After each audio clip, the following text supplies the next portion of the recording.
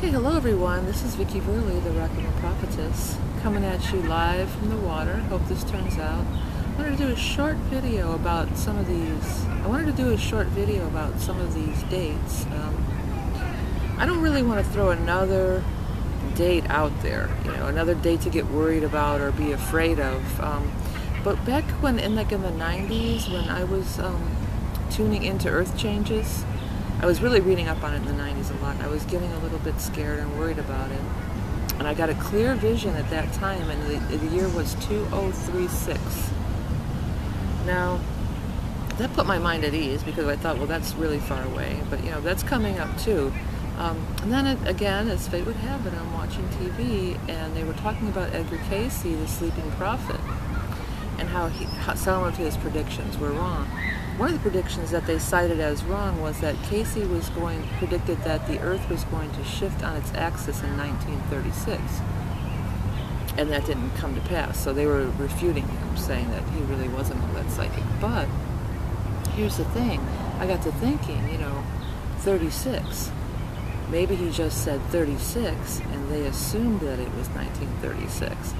So then I even investigate this even further, find out that there's an asteroid due to possibly collide with Earth in 2036 called Apophis, which it even sounds like apocalypse or something like that. Um, but Apophis, I looked it up, and it is an Egyptian god who was sort of the trickster or like the evil evildoer or something. So I don't want to alarm anybody because I think that that's a bad thing to get in the collective unconscious, all this worry about this stuff. But since I did have the vision, I thought I would just put it out there. Has anybody else gotten any information regarding the state of 2036? I would really like to hear about it.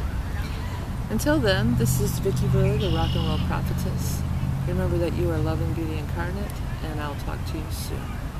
Hello everyone, Vickie Verlie here, Rock and Roll Prophetess. I want to tell you a little bit about how I combine creativity and spirituality through creating the Tapestry of Life mandalas. Um, I started out being able to see past lives really early on as a child, and um, my own as well as other people's.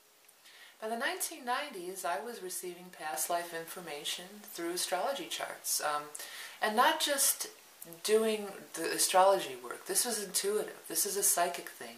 It's as if I use it as a scrying wheel, and I get information by looking at your chart and looking at your wheel.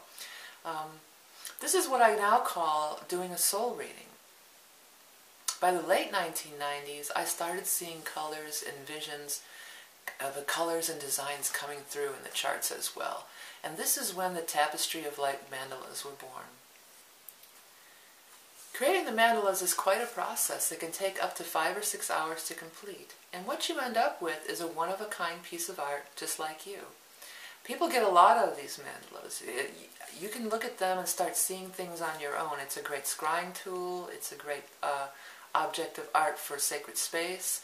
Um, along with the uh, mandala comes a soul reading, which I do from your chart. I also offer just a soul reading, and what we're going to be offering also is a computer-generated past life reading based on uh, Edgar Cayce, which is quite insightful, but I, I, I let you know that it is computer-generated based on the Edgar Cayce readings, and I do not personally do those. Um, so go to the site www.tapestryoflifemandalas.com to learn more. And remember, you are love and beauty incarnate.